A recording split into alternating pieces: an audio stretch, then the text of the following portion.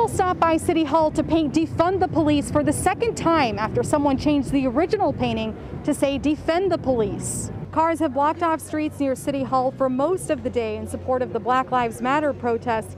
One protester tells us police called a tow truck to get those cars removed, but instead the tow truck driver arrived, stood in solidarity with the protesters, and made his way out without towing any cars. The city just called in a tow lot, a tow truck company to come and tow these cars that they said are illegally parked. On the other side of City Hall over here are six squad cars that are all, all six of them are parked in handicap spots. So like I just told Sar- Sergeant Villanueva, who's over there co-signing all this stuff right now, if you're going to enforce laws in this city, enforce them equally. We reached out to Milwaukee police to confirm whether or not they called to get the cars removed. We have not heard back. Reporting in Milwaukee, Sarah Tamer, WISN 12 News.